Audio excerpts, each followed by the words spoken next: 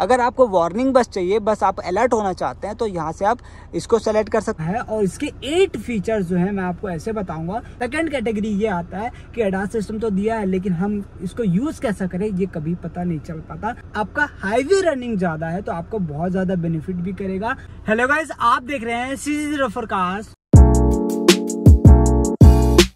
आपने थंबनेल और टाइटल देख के समझ गया होगा कि कौन से टॉपिक के ऊपर आज का जो वीडियो होने जा रही है, कोई भी रिव्यू नहीं, कोई भी ड्राइव रिव्यू नहीं या फिर कोई भी ओनरशिप रिव्यू वीडियो नहीं है आज का।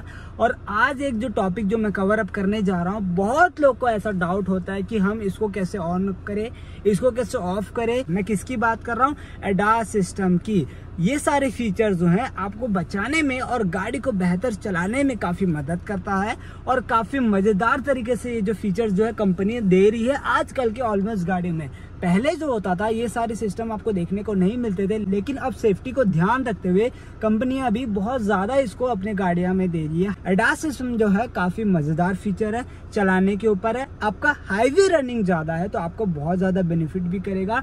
कुछ लोगों का मानना है कि वर्थ नहीं रहता, कभी भी ब्रेक लगा देता है, कभी भी एक्सलेटर बढ़ा देता है तो इससे क्या होता है, उनको एक डर लग जाता है। सेकेंड कैटेगरी ये आता है कि एडास सिस्टम तो दिया है, लेकिन हम इसको यूज़ कैसा करें, ये कभी पता नहीं चल पाता। हम गाड़ी जो है काफ़ी लंबे टाइम तक चला लेते हैं, उसके बाद भी। आइए, आज के वीडियो में मैं आपको बताने वाला हूँ कि एडास सिस्टम क्या है कैसे वर्क करता है और इसके एट फीचर्स जो है मैं आपको ऐसे बताऊँगा एक्सीडेंट होने से आपको इजीली बचाएँगे। सबसे पहले गाड़ी का मेन बात करते हैं अब। देखिए, मैं आ चुका हूँ गाड़ी के इंस्ट्रूमेंट क्लस्टर में और इंफोटेनमेंट सिस्टम में। यहाँ से आपको सब कुछ पता चलने वाला है कि गाड़ी में क्या सिस्टम अपन कर सकते हैं और कैसा हो सकता है सब कुछ। यहाँ पे ये वाला रोल अपना है नहीं, यहाँ पे मेजोरिटी जो यहाँ से अपने को सीखने को मिलेगा आज के डेट में। देख सकते हैं मैंने आपके लिए पहले से खोल के रखा है, ये ड्राइव असिस्ट वाला इन्फॉर्मेशन नेविगेशन सिस्टम आपको अगर नहीं पता तो यहाँ से सेलेक्ट करके अपना देखिए। यहाँ से जाना है vehicle information navigation media notification setting वगैरह जाके यहाँ से आप कर सकते हो। इसके बाद ट्रिप इन्फॉर्मेशन के बाद यहाँ पे आपको मिलेगा ड्राइव असिस्ट ड्राइव असिस्ट में आपको ये जो लेवल दिखा रहा है लो हाई ये जो अटेंशन लेवल दिखा रहा है, इसका मतलब ये है कि आपका जो गाड़ी का डिस्टेंस है और सामने वाला जो गाड़ी का डिस्टेंस है, किलोमीटर पर आवर में चल रहा है, वही आपको ये अपने गाड़ी में मेंटेन करके देगा जो अटेंशन लेवल आपको दिखा रहा है। उसका कंट्रोल यहाँ से आप कर सकते हैं। और इसको कम ज़्यादा करना तो यहाँ से आप कर सकते हैं। अभी जो है, ये जो गाड़ी जो फुल्ली पीडीआई नहीं हुआ है, ये अपडेट के साथ नहीं हुआ है। जब कस्टमर को मिलती है गाड़ी, ये पूरा अपडेट के साथ आता है। जैसे कि मैं अगर बताऊँ, यहाँ से आप देखिए तो ये देखिए ड्राइवर असिस्ट में यहाँ पे लेन कीप वाला आया और यहाँ से मैं अगर उसको ऊपर करूँ, यहाँ से तो एक सेकेंड देखिए, यहाँ से प्रॉपर आपको ऐसा कुछ मिलने वाला है और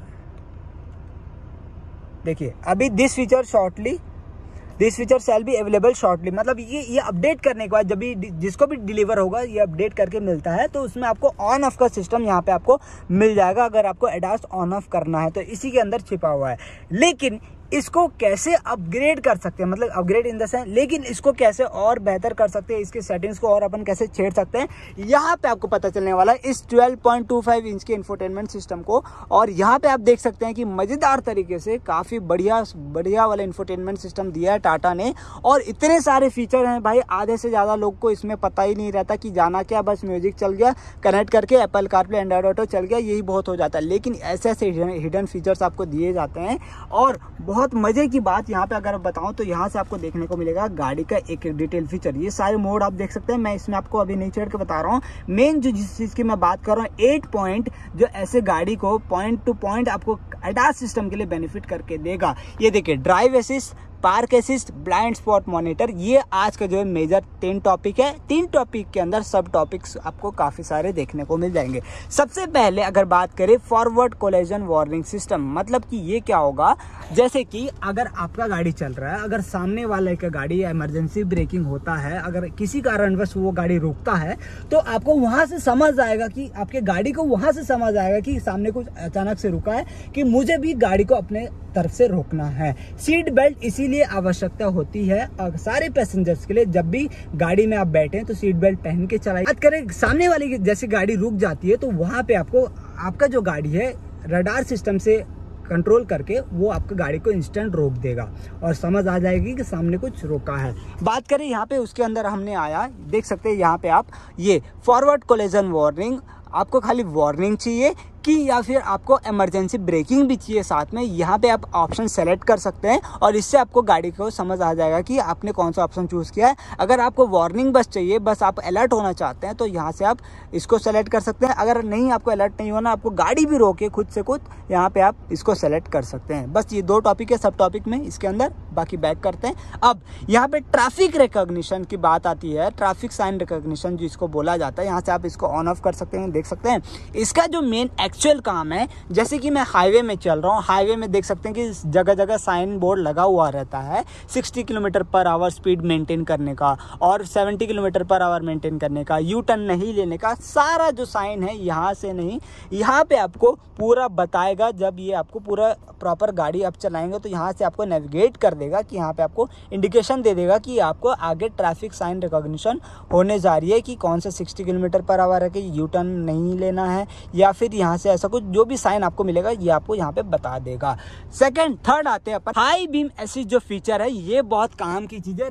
खासकर नाइट ड्राइव के लिए। नाइट ड्राइव की इन द सेंस कि जैसे कि बहुत अक्सर क्या होता है, जब अपन सिंगल लेन की ओर चलते हैं तो बहुत सारे लोग को पता नहीं होता कि कब अपने को हाई बीम करना चाहिए, कब अपने को लो बीम करना चाहिए। बस जो चल रहा है, चलने दो। सामने वाले को दिक्कत हो रही है, नहीं हो रही है, वो अपने को लेना देना नहीं है, बस अपने को रोड विजिबिलिटी होनी चाहिए। लेकिन आजकल के एलईडी लाइट्स देने के बाद ना यार, जो भी सामने गाड़ी आती है, चाहे आपके पास भी एलईडी हो, सामने वाले के पास भी एलईडी हो तो दिखने में बहुत ज़्यादा दिक्कत जाती है।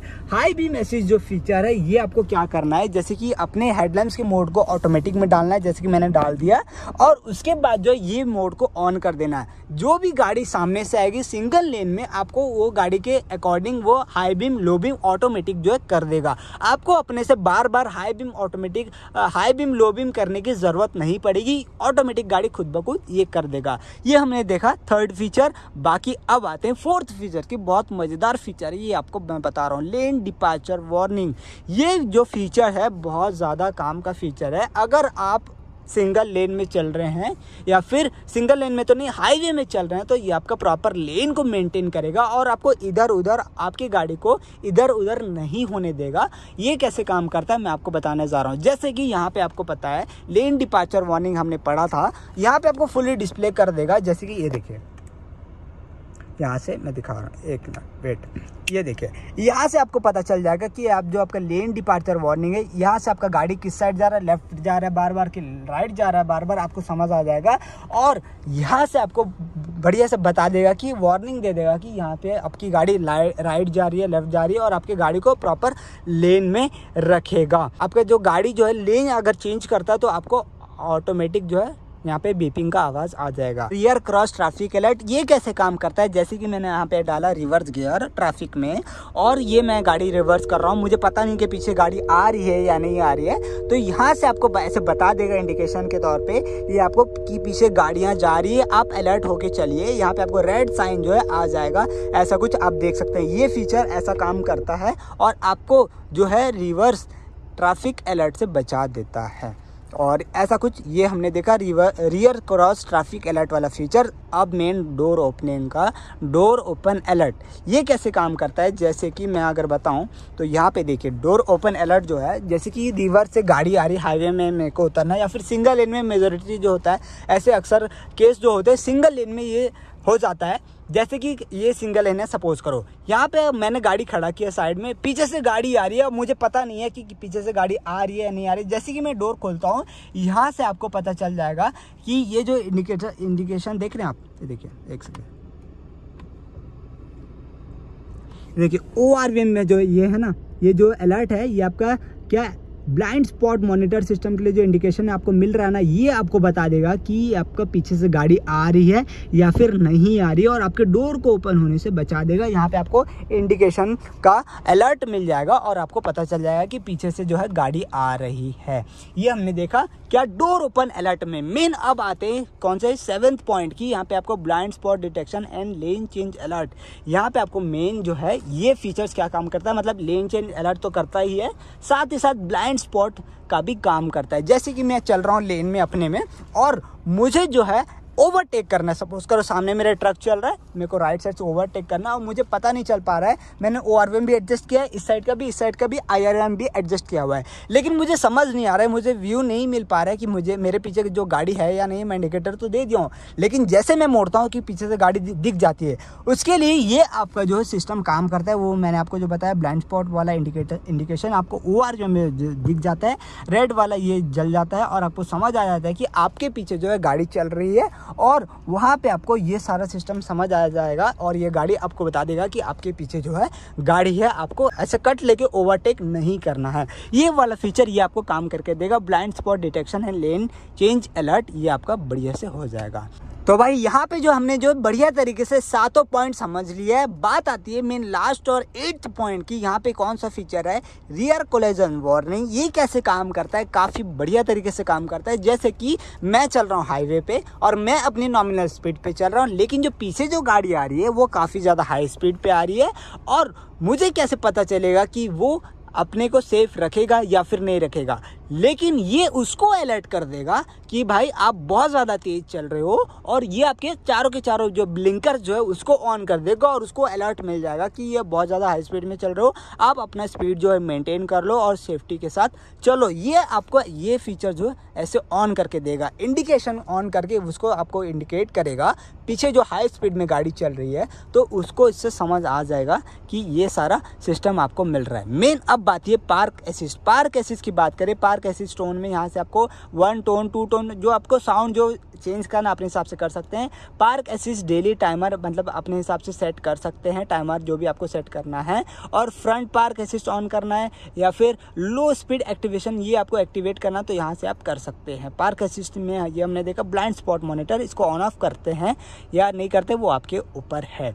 बाकी मेजर जो है ड्राइव एसिस्ट में ये हमने देखा एट पॉइंट जो एडास सिस्टम के लिए काफ़ी बेनिफिशियल होता है और ये टाटा की गाड़ी में आपको मिल रही है। टाटा हैरियर के फियरलेस प्लस एस मॉडल में अभी बैठा हूँ और ये आपको ऑटोमेटिक वेरिएंट में ये सारे फीचर्स मिलेंगे। मैनुअल में तो आपको एडेप्टिव क्रूज कंट्रोल नहीं मिलेगा ओनली आपको क्रूज कंट्रोल दिया जाएगा।